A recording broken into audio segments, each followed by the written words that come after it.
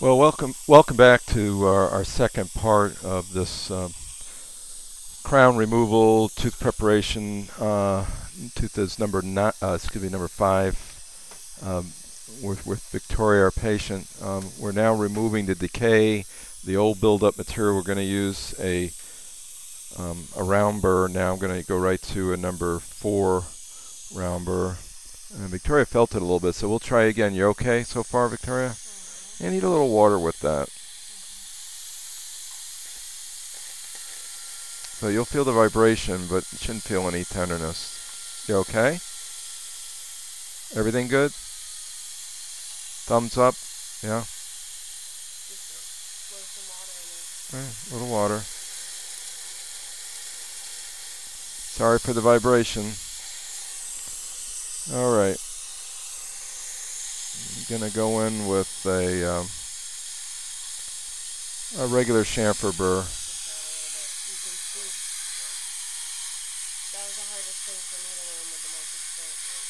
Regular chamfer. We're going to put a little Vitrebond in here. It looks like we're we're getting in close to the middle of the tooth, so I want to put, put some protection down. I'm going to switch now to a chamfer burr. Just going to get rid of a lot of this other stuff here.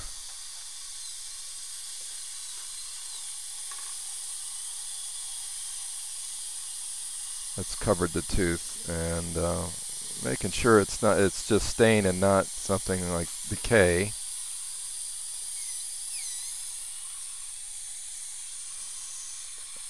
And we'll have to switch to the other suction tip now because you'll need to retract the lingual dam.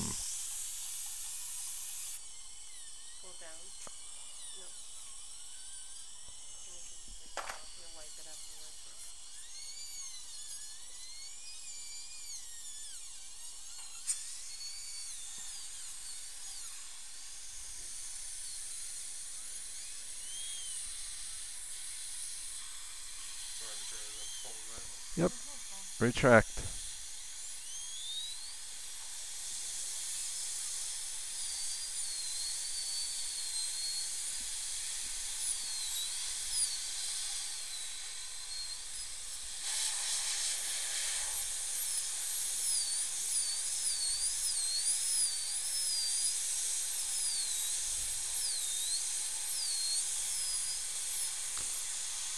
Don't have to worry about the buccal cusp. That's reduced a lot. We're going to just take it down a little bit here in the central groove area and reestablish that plane.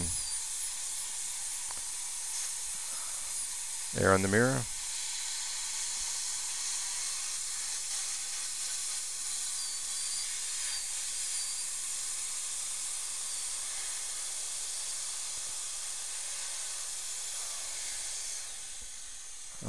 going with a number six round burr. Dry the tooth.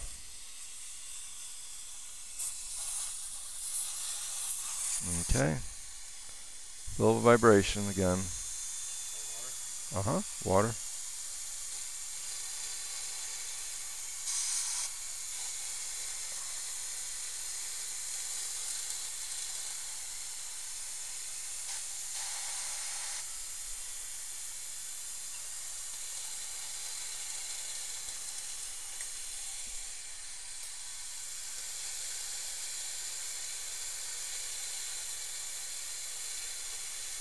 Great.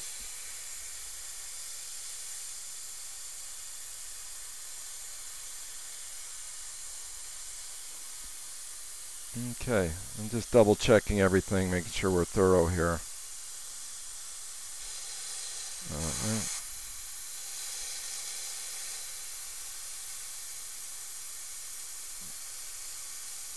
Okay, let me have a number two round burr again. And dry the mirror.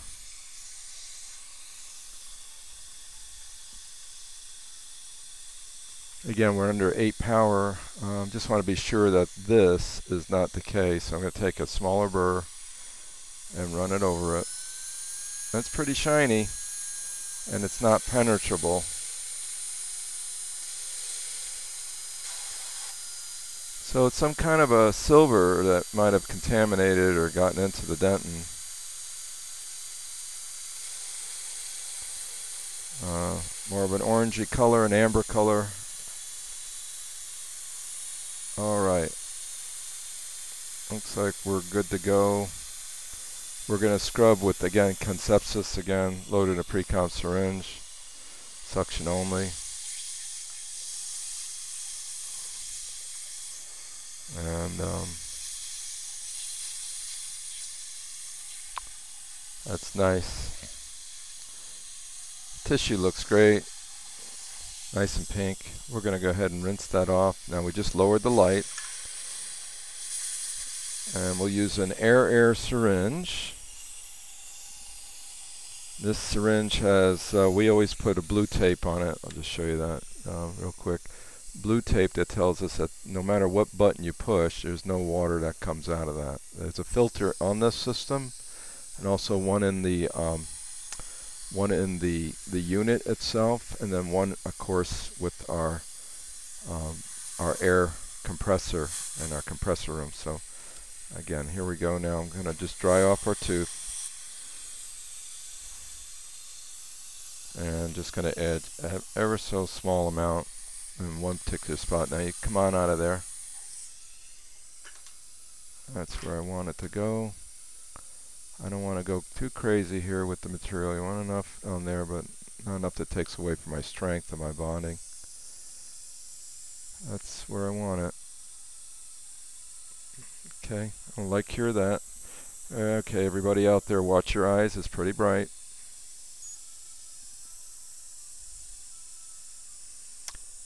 Great weather here in Florida. Unfortunately, we have the Northeast and uh, you know, just disastrous up there. And we're, our hearts and our prayers are out for all those people that have either lost their homes or lost their loved ones. Uh, we uh, can only hope that they get the help they need in, in good time.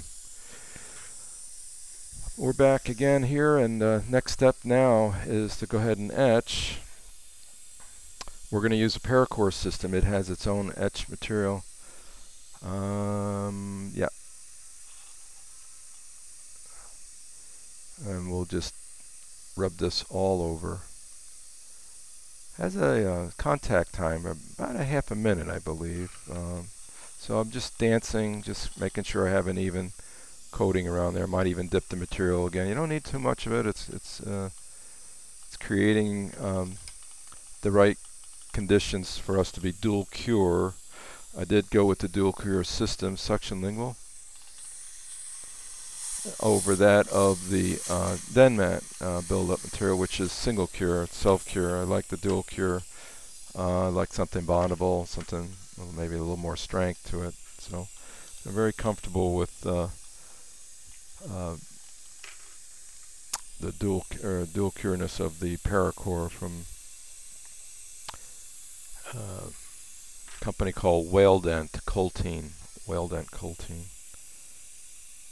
They also make the Parapost uh, for root canal treated teeth.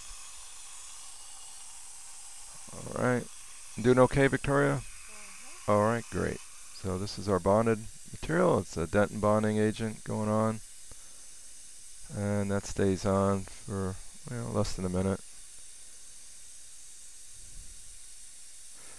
What do we have? How many seconds on that? Uh, 30. 30 seconds. Okay, so you got a half a minute on both applications. Here we go.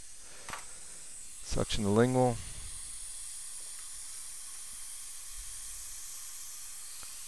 And just a light air, as they say. And squeeze it out. And we'll have our light ready for this.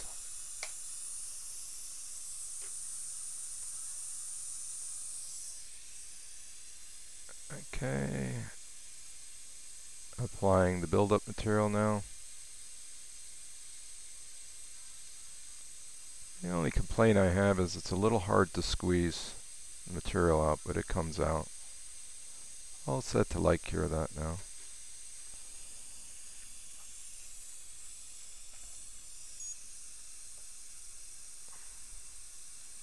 We'll let it go for a full cure. Um, And I'm going to add a little bit now to it.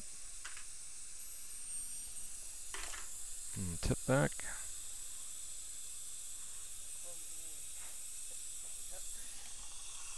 And that buccal side, I might add just a hair more to it.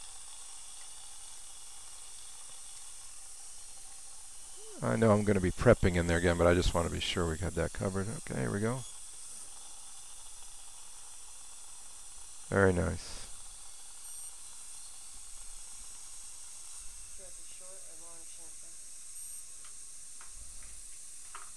This is going to be an Emax crown, so we're going to use a um, a regular chamfer burr. Uh, we'll prep uh, okay. under two minutes here. Under two minutes. Light up, please. Okay. While we're waiting, I'll go ahead and grab the um, the stump shade guide. I'm trying to get an idea where we're heading here as far as color. We had our past one that we did behind us, number four. It looks like an ND6. So we'll take that out. It's pretty amber color. And that's a, Of course, the other tooth was a root canal treated tooth. This one is not. It's a live tooth, so so it might be ND6. Let me just take a look at our other ND8. ND8 was pretty, pretty dark. Well, this is 8. Actually, the neck is an ND8, so I think at least a half the tooth would be ND8. And then the other half, the occlusal half, is going to be an ND6. Alright. Yes. So we'll match up the shades. Got about another 26 seconds on the setting. So it is a dual cure material finish the prep on it and then get ready for the impression. Um, how we doing underneath, Victoria? All right? mm -hmm. Good.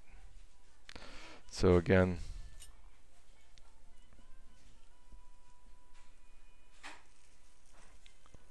we'll be right in here prepping. There's our timer.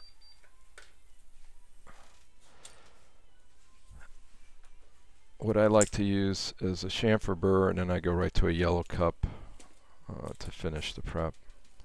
So here we go.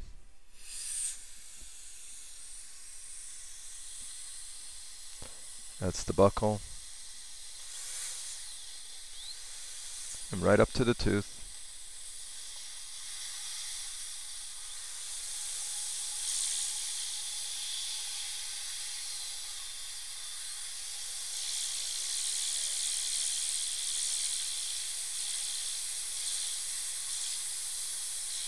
You okay?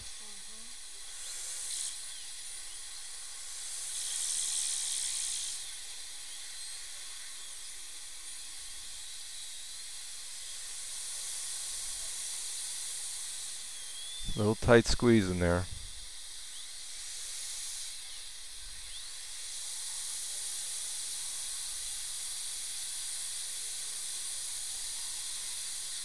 Still okay?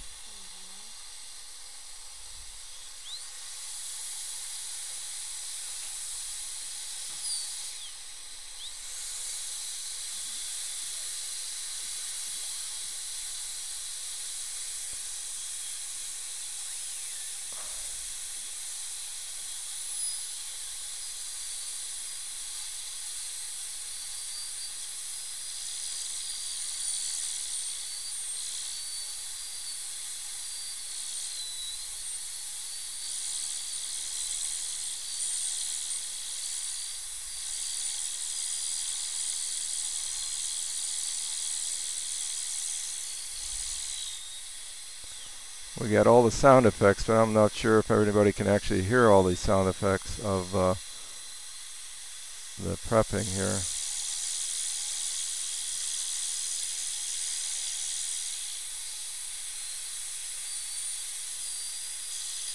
I'll spend a little extra time on the buccal. Just uh, getting it, getting exactly what I want. Okay. So that's pretty good. And I'll just double check that with uh,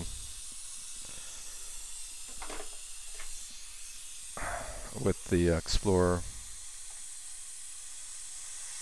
See, I want to go right as just above the cord, enough below the tissue, and bring it right into this mesial area. So I'm going to do a little bit more prepping in there, and then we'll hide that margin really well. It looks good. All right.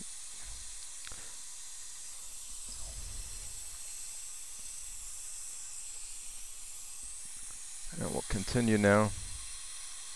So I'm pretty much set. I like that mesial buccal. I'm happy with that. When we go to cementer crown, we'll place a retraction cord in there. All right.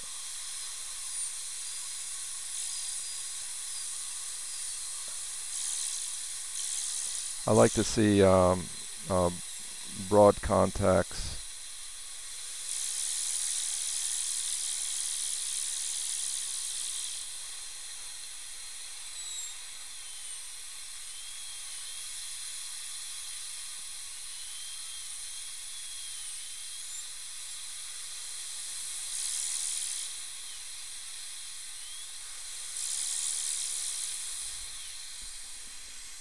Okay. Coming into the distal lingual now, so I'm just switching angles. And do this from the occlusal aspect.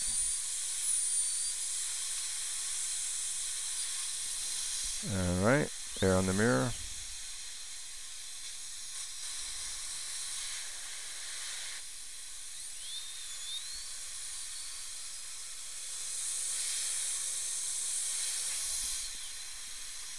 Okay, now we're going to come and notice this wall here is almost parallel with the adjacent tooth. So we got to make sure, we're going to do one or two things. We either got to make it a little more divergent.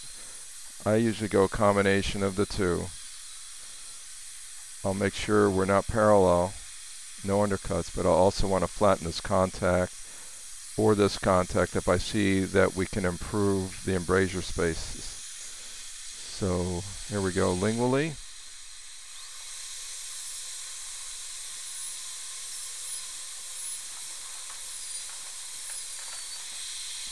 You okay?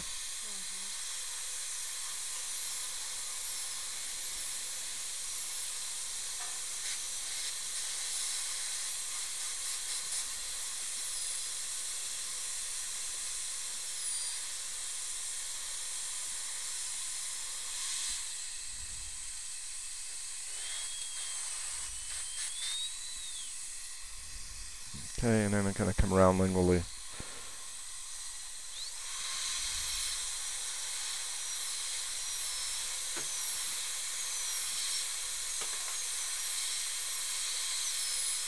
Yeah, fresh 330, please. Um, uh, excuse me, a chamfer, regular chamfer.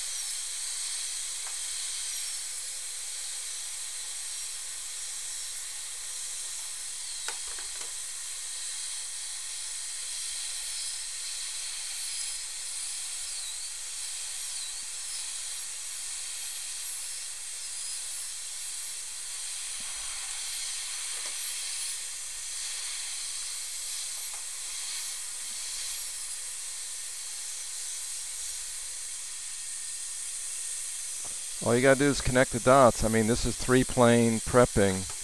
There's the first, there's the second, here's the third. So I just hawk bill everything in.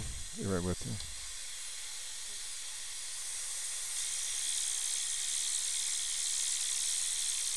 So it narrows the occlusal table and your ceramist can build better porcelain for you.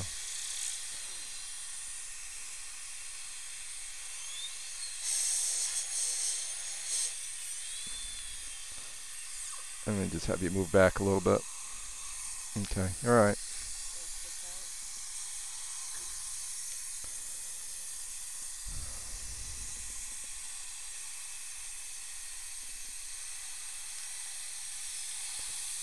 I think I'm going to drop the margin down because I'm going to bring the lingual cusp down a little bit. She's, her bite is just a little, a little bit in cross bite. I want to take full advantage. And we're giving our lab a nice chamfer burst, so that, or chamfer margin, so that they can uh, make a nice Emax and scan. You know, they want to scan the case and do it properly. Alright, so here we go. V cut.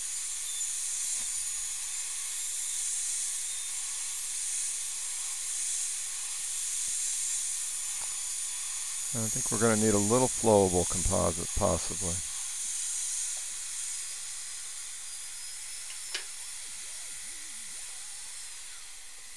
Alright. And just dry that off.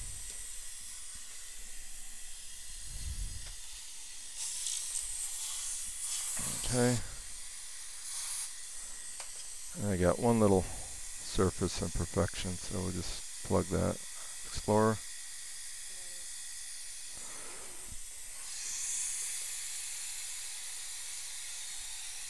And some of this you probably wouldn't do, but I'm doing it as a demonstration today just to show you how I can go in and troubleshoot. That's a flowable, posterior flowable. See now it's a bondable material, whereas if I didn't use the bondable material, the self-cure, I couldn't, I couldn't chemically bond to that surface. So that's the advantage. Alright, sorry about the light here. Just about done. I'm going to switch to like a, a, a little football diamond.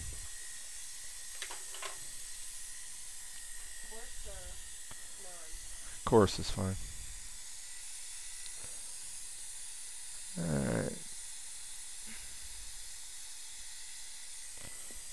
Alright, looking good. Okay, so I'm going to switch angles. Give you an idea what this looks like.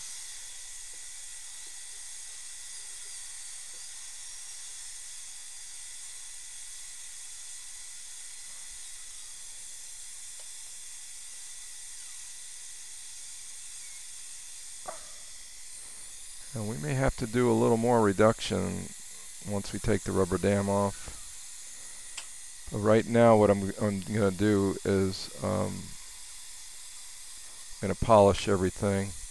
I'm going to hawk bill that in again with my chamfer.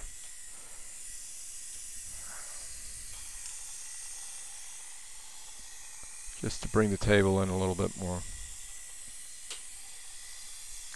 And we don't want this black to show. We can mask it later on with uh, the ceramic, or we can uh, use a, a, a, lighter cement. So, um,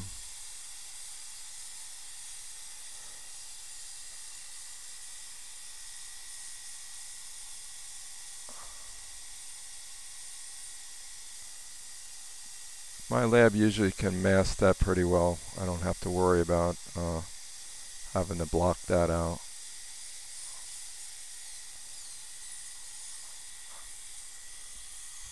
See what they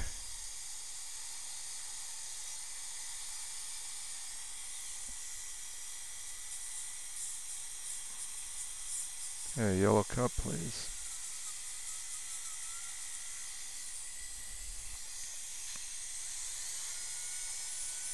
And a little water with that.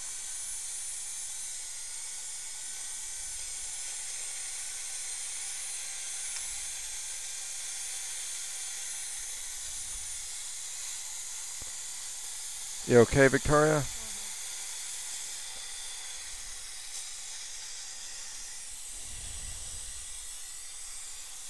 All right, we're going to take the rubber dam off and um, come back at you again. This is Dr. Jerry Cuomo. We'll see you on the next segment.